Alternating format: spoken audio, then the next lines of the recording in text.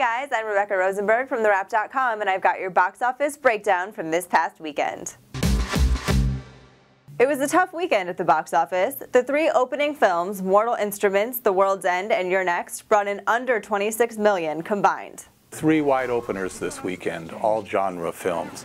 They hit their target demographics to varying degrees, but none of them was able to connect with the mainstream, and they all came in under $10 million.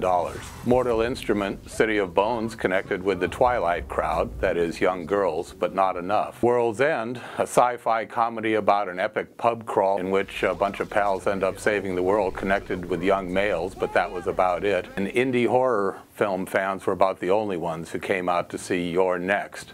Instead, audiences stuck with proven commodities, which were The Butler, and the Jennifer Aniston comedy We're The Millers, which is turning into sort of an Energizer bunny. It's made 90 million so far and is sure to hit 100 million this weekend.